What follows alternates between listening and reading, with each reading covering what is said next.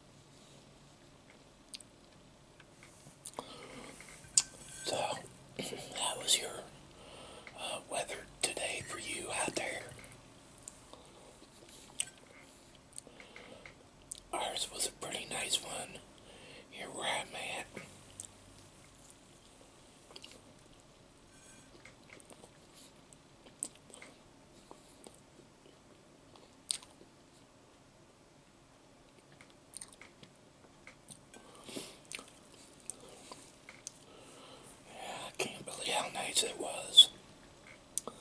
Kind of felt like spring like outside today.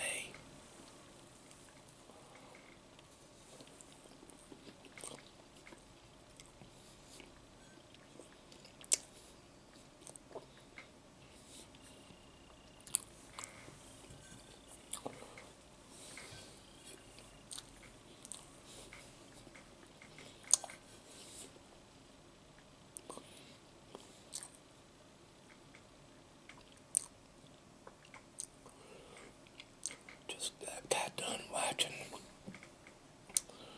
on the news that there's one golf course here where I live at around here in my area. It was busy today. They, they couldn't believe it. A lot of golfers were golfing out today.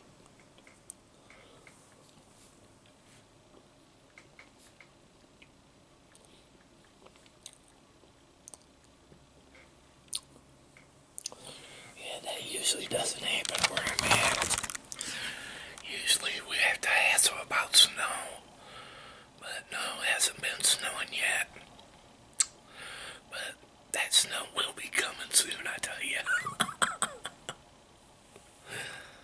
but I tell you, a lot of your golf courses here where I live at, uh, they made some money.